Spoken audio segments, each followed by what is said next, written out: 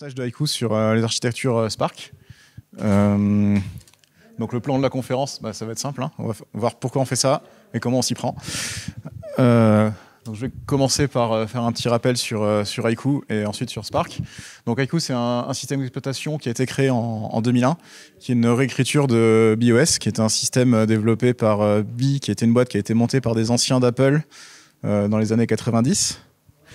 Je viens juste de commencer, tout va bien. Euh, donc du coup, euh, on a sorti une version bêta de Haiku euh, fin 2018. On a une version bêta 2 qui devrait normalement arriver bientôt. Voilà. Bon, je vais pas détailler plus que ça. On a un stand en bas si vous voulez en, en voir plus, essayer Haiku et tout ça. Et je vais parler aussi de Spark. Donc Spark, c'est une architecture de CPU qui a été conçue par Sun et Fujitsu vers 1986, si je dis pas de bêtises. Euh, donc en fait, Sun, ils faisaient des, stations de travail euh, au départ avec des CPU 68000 et ils se sont dit qu'ils allaient euh, faire leur propre CPU parce qu'ils avaient euh, bah, des limitations sur l'architecture 68000. Euh, L'architecture a été libérée en 89, c'est-à-dire qu'il y a une, euh, euh, fondation qui s'appelle Spark International qui euh, fournit donc les spécifications du jeu d'instruction et euh, n'importe qui peut du coup euh, implémenter euh, un processeur Spark. Euh, depuis 1995, il y a une version 64 bits, qui, donc, qui est la version Spark 9. Euh, L'ESA a implémenté en 1999 un CPU Spark euh, pour aller dans l'espace. Euh, et euh, il y a eu d'autres implémentations euh, libres par Sun un petit peu plus tard, donc en 2005-2006. Euh, et en plus de ça, on vous fournit des spécifications pour plein d'autres choses, donc j'en reparlerai plus en détail dans la partie un peu plus technique de la conférence. Mais on n'a pas juste en fait le jeu d'instruction du CPU, on a plein d'autres choses qui font que bah, du coup on peut faire une machine Spark avec toutes les infos dont on a besoin. Donc pourquoi on va mettre les deux ensemble? Alors ça permet de faire un peu de pub pour Haiku, qui est un système pas hyper connu. Euh, Spark, c'est pareil, on n'en parle plus beaucoup. En fait, euh, quand on parle d'architecture de CPU libre, on va entendre parler beaucoup de RISC-V en ce moment. On va parler de Power chez IBM qui a été euh, libéré tout récemment. Et en fait, Spark, ils sont là depuis 30 ans et personne n'en parle. On voit des news, ouais, RISC-V, machin. et bah, Spark, complètement oublié. Je sais pas pourquoi. Voilà, système d'exploitation, c'est pareil. On entend beaucoup parler de Linux, éventuellement un peu de BSD. Puis les autres, rien du tout. Donc euh, voilà. Donc la première chose, c'est qu'on va essayer de faire, un petit peu de pub. Euh, L'autre truc, c'est que Haiku, en fait, euh, bah, on démarre sur les processeurs x86 sur PC. Et on n'a jamais réussi à faire un portage complet sur aucune autre architecture. Il y a eu donc mon collègue François qui est là, qui travaille sur le PowerPC et le 68000. Euh, il y a des gens qui travaillent sur ARM aussi, mais ça n'a jamais vraiment abouti pour différentes raisons. Et j'en reparlerai aussi un petit peu après. Du coup, on va parler de technodiversité. Euh, donc, euh, c'est l'équivalent de la biodiversité, mais pour la technologie. Euh, L'idée, c'est bah, par exemple d'avoir un système d'exploitation écrit en C++, parce que bah, Linux, c'est du C, FreeBSD, c'est du C, c'est du POSIX, machin, tout est pareil en fait. Du coup, là, on peut se permettre bah, de faire un truc un peu différent. Alors, il y a plein de projets qui le font. hein. Il y a RedOx qui fait du, du Rust, par exemple. Il y en a sûrement plein d'autres que je connais même pas, mais voilà. Euh, donc le CPU, mon risque, c'est plus très très innovant, mais euh, je vais reparler plus en détail du CPU Spark et de quelques trucs intéressants euh, dessus.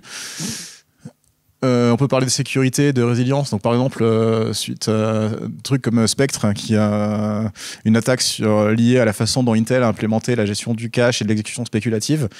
Euh, et en fait, on se rend compte que quand on a un seul fabricant de CPU qui a 90% du marché ou plus, bah, c'est un gros problème. Quand il y a une faille de sécurité comme ça, bah, tout le monde est concerné.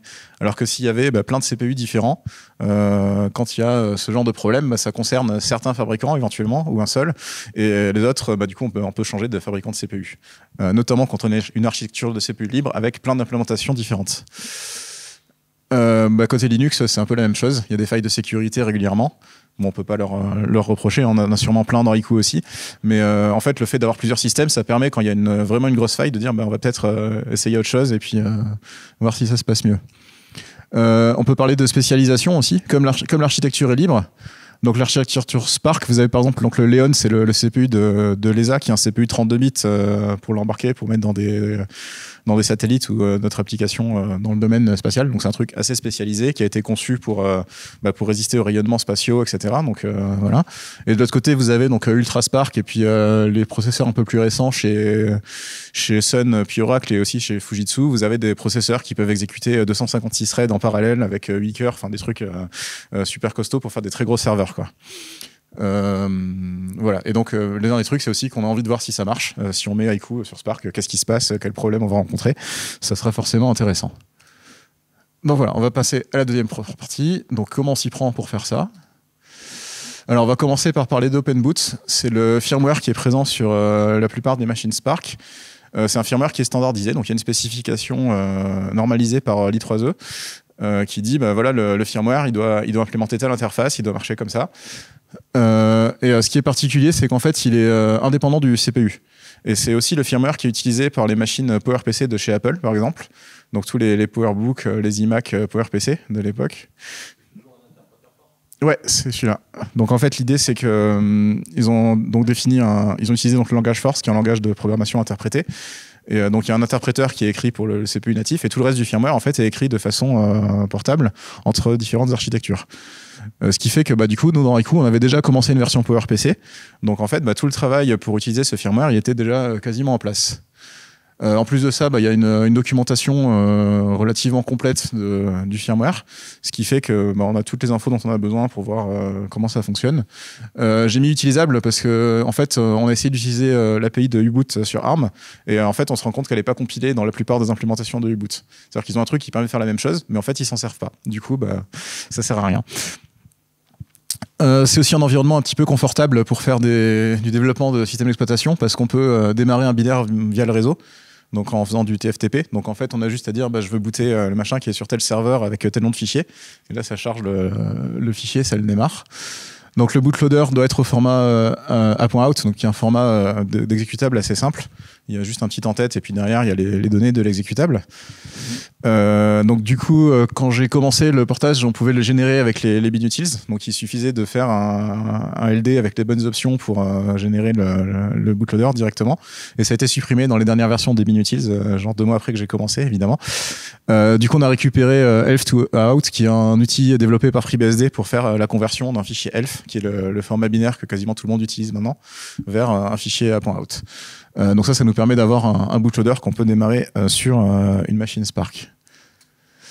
Donc notre bootloader, qu'est-ce qu'il fait? Alors du coup, il, va commencer par détecter le matériel pour savoir sur quelle machine on est. Donc trouver où est la mémoire, où est le disque dur, ce genre de choses.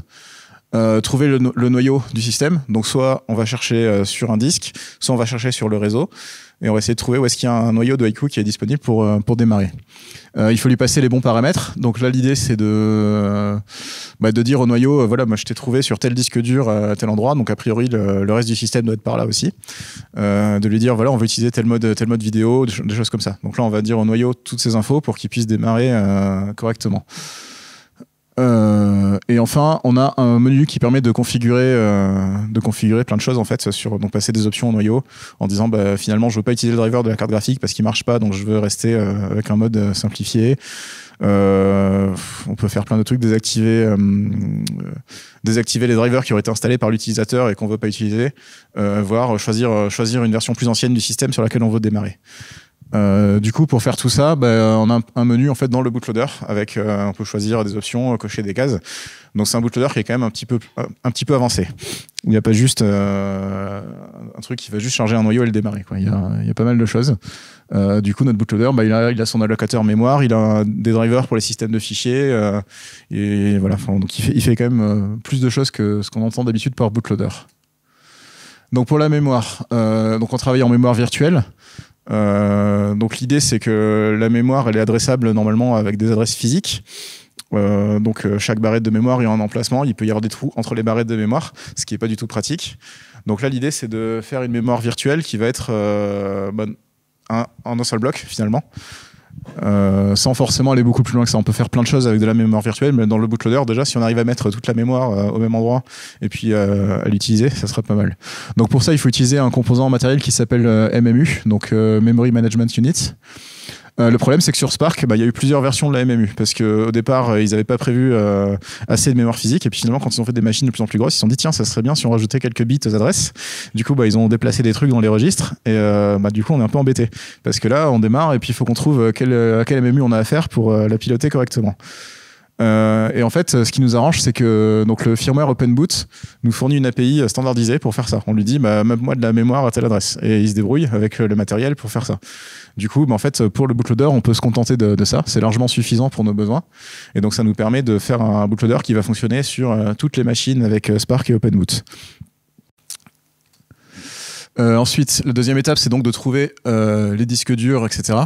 Donc là, on a un truc qui s'appelle le device tree. Euh, donc en fait, on peut interroger le firmware pour dire bah, qu'est-ce qu'il y a comme matériel sur cette machine? Et donc il répond avec une structure de données en, arbre en fait, euh, qui est un genre de système de fichiers euh, virtuel, on va dire. On peut, on peut se déplacer en fait avec des commandes interactives. On peut faire un ls, un cd pour aller dans, dans un device. Euh, et donc en fait, bah, ça permet de trouver tout le matériel. Donc là-dedans, il y a le CPU, MMU, la mémoire, euh, la carte graphique. Euh, alors sur ma, machine, j'ai des disques avec du SCSI, donc j'ai 8 disques qui sont branchés sur une carte SCSI par exemple. Je peux avoir de l'USB avec les devices qui sont connectés dessus. Donc tout ça apparaît sous forme d'un arbre en fait, qui est structuré pour bah, trouver toutes les informations. pour chaque matériel, il peut y avoir un driver qui est fourni. Alors soit il est fourni directement dans le, dans le firmware de la machine, euh, donc c'est le cas pour tout ce qui est sur la carte mère, on va dire en gros. Euh, soit c'est des cartes d'extension. Donc par exemple, on branche une carte graphique. Et la carte graphique en fait vient rajouter euh, des commandes spécifiques et qui permettent bah, d'avoir par exemple un mode texte sur une carte graphique et d'afficher du texte. Donc là, il y a toute une spécification, encore une fois, fournie par OpenBoot, et encore une fois, indépendante du, du matériel, c'est-à-dire qu'on peut en principe prendre la même carte et la brancher sur une machine Spark ou une machine PowerPC, et ça devrait fonctionner. Euh, c'est pas le cas si vous prenez une carte pour PC. En fait, vous avez un BIOS aussi, mais c'est un BIOS avec du code x86 dedans. Donc, si vous avez un CPU qui n'est pas un x86, bah, ça marchera pas. Et donc, vous devrez faire toute, l'initialisation bas niveau de la carte à la main, ce qui est euh, très pénible, surtout que c'est pas du tout documenté en général. Euh, voilà, donc là en fait, donc avec ce device tree, bah, finalement on récupère les infos de tout le matériel qui est sur la machine et donc en principe on devrait pouvoir trouver là-dedans les disques durs. Ensuite il nous faut une console pour pouvoir voir ce qu'on fait. Donc là, l'idée, bah, c'est juste de pouvoir euh, taper des commandes et récupérer euh, du texte ou des trucs un petit peu, euh, un petit peu plus avancés. Pour notre menu, on aime bien afficher des trucs en couleur et tout. Donc voilà. Donc là, on a deux solutions. Soit on utilise un port série. Donc c'est le truc, euh, quand on démarre, c'est facile parce qu'il n'y a pas grand-chose à configurer. Y a, on a un terminal à côté qui fait les, trucs intelligents, on va dire, et puis la machine a juste à envoyer euh, des commandes sur le port série. Euh, ou alors on peut utiliser un, clavier et un écran si on veut bah, travailler directement sur la machine sur laquelle on est en train de débugger. alors là, en fait, on a un petit souci qui est que c'est là que ça commence à devenir compliqué. Euh, en fait, euh, pour avoir une console, donc l'Open Firmware prévoit évidemment une, console, mais en fait, c'est fourni bah, soit par euh, le, donc le firmware lui-même pour le port série qui est sur la carte mère, soit si on branche une carte graphique, bah, la carte graphique va fournir un, genre de mode texte en fait avec avec un driver pour le, clavier et l'écran. Et là, en fait, bah, selon les cartes graphiques, ça marche plus ou moins bien. celle que j'ai moi, par exemple, elle ne sait pas afficher de couleur. On lui dit change de couleur, dit non, mais je connais pas cette fonction, je sais pas ce que c'est. donc du coup, pas de couleur. Euh, voilà, donc là, on commence à avoir des trucs où il faut euh, faire attention euh, finalement au matériel auquel on a affaire. On est censé avoir une couche d'abstraction, mais finalement, ça a quand même ses, limites. une fois qu'on a ça, on a plein d'outils de debug pour voir ce qu'on fait. Et ça, c'est un truc qu'on n'a pas sur plein d'autres plateformes. Euh, notamment sur un PC, vous avez le, BIOS où euh, vous démarrez euh, votre système et puis si ça plante, ça bah, tant pis pour vous. Il n'y a rien, il n'y a pas de, message d'erreur, ça s'arrête et puis débrouillez-vous pour comprendre ce qui s'est passé. là en fait, il y a une console de debug, donc le truc plante, vous affiche ah bah il y a eu telle exception sur le MMU et là on peut afficher une trace de, des appels de fonctions qui ont été effectués juste avant. on peut voir ce qu'il y a dans le mapping du MMU, dans les registres du processeur. Enfin, il y a plein de commandes pour faire plein de trucs. Et euh, globalement, quoi qu'il arrive, euh, le CPU arrive toujours à retomber dans ce, mode de, secours, et afficher une console de debug. Donc ça, c'est euh, super intéressant quand on, développe les, premières étapes, on va dire, du système, parce que sinon, on est un peu à l'aveugle, et c'est souvent le cas sur d'autres plateformes. alors un truc qui est intéressant sur le CPU Spark, c'est donc en fait au niveau du matériel, il y a une une pile pour gérer les appels de fonction euh, dans le CPU. Donc euh, en fait, ce qui se passe, c'est que quand il y a une fonction qui est en train de s'exécuter, par exemple la première ici, elle a des registres qui s'appellent entrée, des registres qui s'appellent sortie, qui servent à passer des paramètres à une autre, fonction, et des registres locaux internes à la fonction. Et en fait, quand on appelle une autre fonction, les registres du CPU bah, changent en fait. Donc ce qui était sorti devient entrée, et il y a des nouveaux registres qui apparaissent pour la fonction suivante. tout ça, c'est géré en interne dans le CPU automatiquement. Donc il y a une instruction qui permet de rentrer puis de sortir d'une fonction. Euh, et du coup, euh, l'intérêt, c'est qu'en fait, euh, même si on a planté complètement la mémoire et qu'on n'a plus accès à rien du tout, il n'y a que le CPU qui fonctionne encore, ben, on a toujours ces infos-là et du coup, on sait quelles ont été les fonctions appelées. donc ça, c'est l'intérêt côté debug. Et il y a un autre intérêt côté performance, qui est qu'en fait, quand on fait ça, bah, ça reste dans le CPU, on n'a pas besoin de toucher à la mémoire à chaque fois qu'on appelle une fonction. Euh, sur d'autres architectures, on a en fait des trucs où euh, chaque fois qu'on appelle une fonction, bah, il faut à la main sauvegarder tous les registres qu'on va écraser, puis les restaurer à la fin avant de rendre la main. Parce que sinon, euh, bah, la fonction qui a, appelé, qui a appelé notre fonction, si on lui rend le CPU en ayant tout changé, elle va être perdue et ça va planter. Euh, donc là, voilà, c'est pris, euh, en charge automatiquement par le, CPU. Alors évidemment, il y a une limite de taille en fait. Euh, à force d'appeler une fonction qui appelle une fonction, il y a un moment où il n'y a plus de place. Et là, en fait, le CPU dit, bah là, j'ai plus de place, il faut mettre ça dans la mémoire. Donc là, il y a une exception qui est déclenchée. Et il faut un, bout de code en fait qui va récupérer ce qui déborde du CPU pour le stocker en mémoire. voilà. Donc ça, c'est un truc qui est un petit peu inhabituel qu'on voit pas trop sur d'autres plateformes, il me semble. Euh, euh. Bon, c'est une des spécificités du, Spark et c'est un exemple de choses qu'on peut euh, innover quand on change d'architecture CPU. Alors, on va faire une liste maintenant des problèmes rencontrés dans ce portage. donc effectivement, j'avais dit au début que ça serait sûrement intéressant de voir ce qui se passe si on, essaie de faire fonctionner Haiku sur une autre architecture que le PC avec un CPU Intel.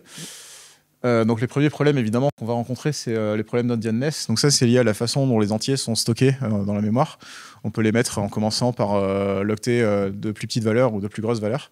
Donc c'est une convention, mais évidemment, euh, si on change, il y a des endroits dans le code où il faut faire attention. Euh, alors j'ai pas encore trop rencontré de problème avec ça dans Haiku pour l'instant. A priori, le code est à peu près propre là-dessus. Par contre, j'ai eu plein de problèmes avec l'alignement. Alors ça, le, truc, c'est que le, processeur Spark, quand on fait un accès à la mémoire, par exemple en 64 bits, il faut que l'adresse soit un multiple de 8. Euh, parce que ça lui permet de, faire ses accès toujours de la même façon, ça permet d'optimiser un petit peu l'accès à la mémoire. Euh, si on fait pas ça, bah, le CPU dit euh, non, je sais pas faire cet accès, débrouille-toi autrement. c'est pas le cas sur les processeurs Intel qui eux savent remettre les octets dans l'ordre en fait quand on fait ce genre d'accès. Du coup, bah, on est, obligé bah, de, traiter ces problèmes-là. Donc là, j'en ai déjà trouvé un ou deux. J'en trouve, je pense que je vais continuer à en trouver régulièrement dans le, dans le code de Haiku parce que c'était pas vraiment prévu. Donc euh, bah, c'est facile, hein. de toute façon, le CPU s'arrête tout de suite en disant bah, ça, euh, je sais pas faire. On a directement l'instruction euh, concernée. Donc, mais bon, c'est un peu pénible parce qu'en fait, on essaie d'avancer, puis là, à chaque fois, on tombe sur un truc. Ah, problème d'alignement. Bon, donc on va regarder ce qui se passe, on va corriger, on va réécrire un petit peu le code pour qu'il fasse pas, voilà, redonner un peu les trucs pour que les, les adresses dans la mémoire soient au bon endroit. Euh, bon, ça, c'est un problème qui est plutôt lié à Haiku. Euh, du côté Spark, on a euh, bah, plein d'infos qui sont absentes des spécifications. En fait, on a plein plein de documentation parce que du coup, il y a bah, l'architecture qui est standardisée.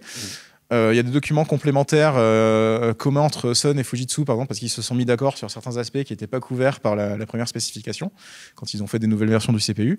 Ensuite, on a la documentation du CPU lui-même, donc selon le modèle spécifique qu'on est en train d'utiliser. Et en fait, dans tout ça, bah, des fois, il y a des trous. Il y a des gens qui se sont dit que ça devait sûrement être documenté dans le spec de l'autre, et finalement, il n'y a personne qui l'a mis.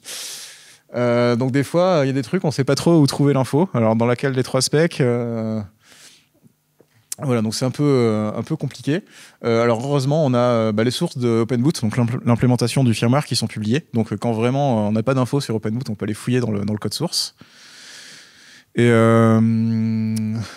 on a aussi les sources donc de, par exemple de FreeBSD qui fonctionnent déjà sur, euh, sur ces machines. Donc on peut voir eux comment ils ont fait pour se dire bah, est-ce qu'on peut, qu'on peut reprendre euh, leurs idées et voir, euh, voir ce que ça donne. Troisième problème, disponibilité du matériel récent. Alors, il y a toujours du matériel Spark chez Fujitsu, mais maintenant, ils font plus que des, plus que des serveurs. ce qui nous intéresse pas trop pour Haiku, parce que nous, on a un système pour les ordinateurs de, bureau ou les PC portables. Et ça, effectivement, on n'en trouve plus beaucoup avec des CPU Spark.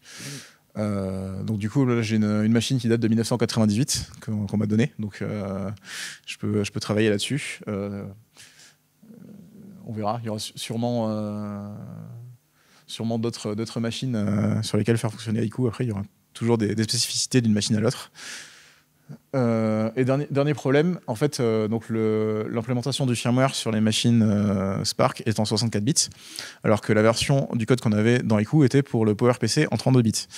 Euh, donc là, il y a eu plein de petits soucis de paramètres pas de la bonne taille quand on appelle le, firmware qui nous ont bah, causé quelques, quelques soucis. Euh, je pense que c'est globalement réglé maintenant, mais euh, j'en ai sûrement raté. Donc, euh, au, fur et à mesure qu'on avance et qu'on commence à utiliser de plus en plus de matériel, on, retrouve ce genre de problème un peu partout dans le, dans le code.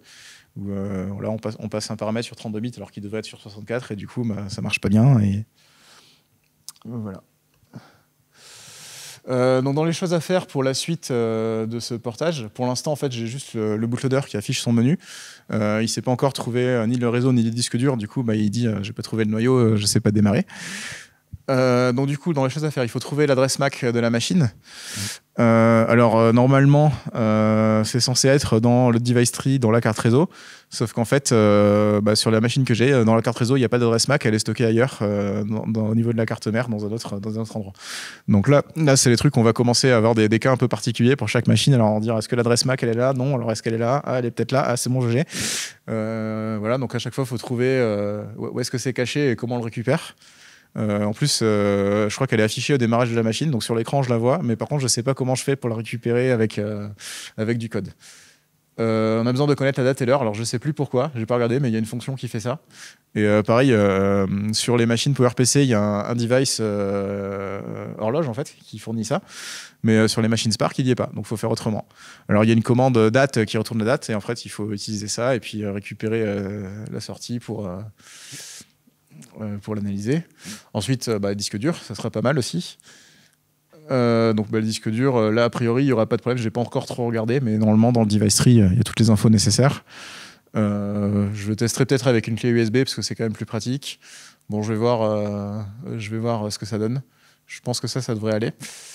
après, il y a le frame buffer. Donc, on aime bien afficher un, joli logo Haiku au démarrage avec des icônes de chargement. Ah bah ouais. Euh, et du coup, c'est le, le, bootloader qui le fait en fait. Dans les coups, en fait, le bootloader initialise ça et ensuite passe la main au noyau qui vient euh, remplir une barre de progression euh, par-dessus. Mm. donc du coup, il bah, va falloir regarder comment ça marche, récupérer le pointeur vers l'écran et le bon format pour savoir si c'est en écran en 32 bits, en 256 couleurs, quelle résolution, etc. voilà. une fois qu'on aura ça, bah, charger, lancer le noyau. Euh, donc c'est là la partie où euh, ça a l'air facile dit comme ça, puis en fait il va y avoir plein de boulot parce que le noyau il fait plein de choses en plus, il fait des, des switches de contexte par exemple pour relancer plusieurs threads. Donc là il faut euh, bah, remplacer les registres du CPU, nettoyer les caches pour être sûr qu'il n'y ait pas de conflit. En plus il y a deux CPU donc il faut les synchroniser entre eux. Enfin plein de choses comme ça.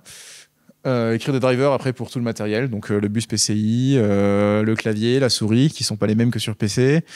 les cartes graphiques, je pense que ça devait être bon, c'est le même matériel. ainsi de suite. Enfin voilà, il y a plein de, plein de choses comme ça. du coup, bah, pas mal de travail encore sur ce portage quand même. alors après, ça, ça, marche bien. Du coup, ça a motivé un peu les gens qui bossaient sur, sur ARM et sur RISC-V à s'y remettre un peu parce qu'ils ont vu qu'il y avait un, autre portage qui avançait plus vite que le leur. Du coup, Voilà. Euh, puis ça, permet aussi bah, d'avoir un peu d'expérience sur ce genre de choses. En fait, euh, j'ai démarré ça parce que le portage ARM était bloqué sur un problème de linker euh, qu'on n'arrivait pas à, résoudre. Et on ne savait pas si c'était un problème juste pour la version ARM ou pour toutes les versions de, Haiku. Et du coup, bah, j'ai essayé celle-là, j'ai pas eu le problème. Du coup, j'aurais dit non, c'est vraiment dans la version ARM. Et donc, on a su un petit peu où fouiller, puis on a fini par trouver l'erreur qu'on avait fait dans la configuration de GCC quand on l'a compilé et qui nous empêchait de compiler du C++ correctement et qui nous faisait des erreurs de link, euh, mais à une étape bien plus loin dans, le, dans le, process. Quoi. Donc, euh, donc ça a permis de décoincer finalement le, portage pour ARM qui était bloqué sur ce problème depuis, depuis pas mal de temps. Euh, voilà. Puis on a, on a plein de choses aussi au niveau de la librairie C dont j'ai pas parlé, au niveau de la gestion des flottants. Il y a plein de choses qui sont assez différentes d'une plateforme à l'autre pour les, les, nombreux flottants. Donc, bon, je sais pas si je rentre dans les détails là-dessus, ça va devenir technique et j'ai pas de slide. Alors, du coup. Il reste deux minutes. Bon, donc on va arrêter là, puis on va prendre des questions.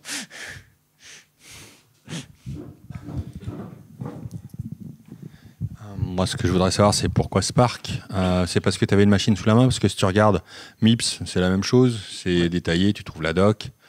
Tu trouves moins de machines, c'est plus compliqué à trouver les machines. Euh, et puis historiquement, ben, Haiku, ça devrait être sur PowerPC, ça devrait pas être sur Spark. Euh, c'est pas que je te veux mettre la pression, hein, mais historiquement, ça devrait être sur PowerPC. Donc, c'est juste parce que tu avais la machine sous la main Ouais, j'ai démarré ça parce que j'avais cette machine sous la main et aussi, euh, tout ce que je disais avec le, firmware qui est quand même vachement sympathique pour, euh, pour débugger. c'est vrai que c'est une plateforme qui est assez confortable en fait pour expérimenter là-dessus. Euh, du coup, c'est quand même un point non négligeable quand on, quand on se lance là-dedans, on va dire la première fois, mhm. d'avoir un, firmware qui peut dire bah voilà, voilà une backtrace, voilà où sont les, les, fonctions qui ont été appelées. donc du coup, ça permet quand même de, de voir si, ce qu'on fait. Quoi.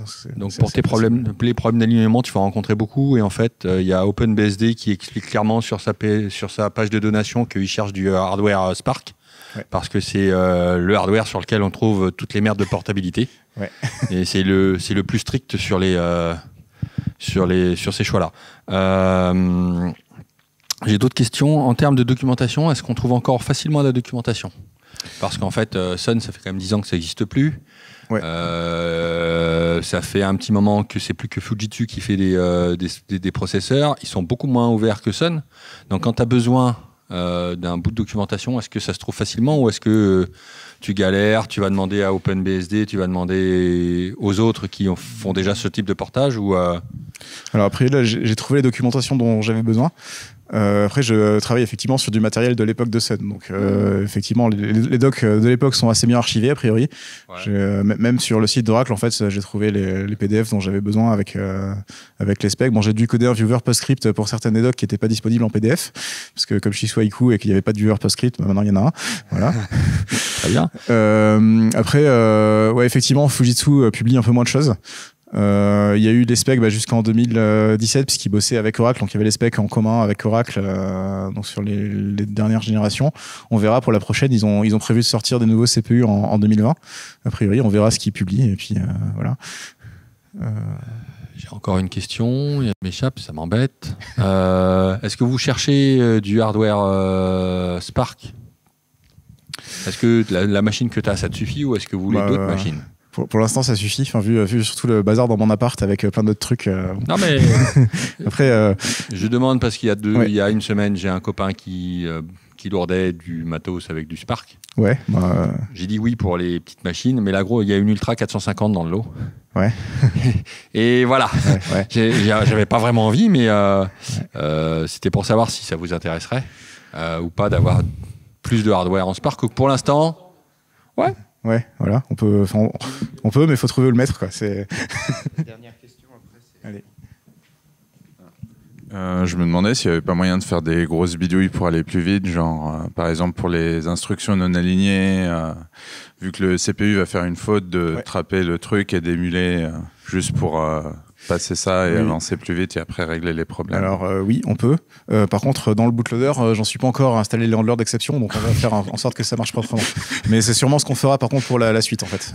et c'est pareil pour plein d'autres trucs qui sont pas implémentés par le CPU. Ou, voilà. en fait, c'est assez commun sur Spark. Il y a des specs qui le disent. Par exemple, pour les, les non flottants sur 128 bits. Euh, le jeu d'instruction est défini, il n'y a aucun CPU qui l'implémente. Donc euh, ce que dit la spécification Spark, c'est bah, vous utilisez les instructions, ça fait une exception, et puis euh, en traitant l'exception, on émule l'instruction en, logiciel. donc c'est, enfin c'est pas inhabituel de faire comme ça sur sur ces machines parce que de toute façon il y a voilà il y a plein de choses qui ont besoin de le faire donc voilà donc on, le fera sûrement mais quand on aura la partie noyau et puis système d'exploitation sur le bootloader on va on va quand même essayer d'aligner les choses correctement.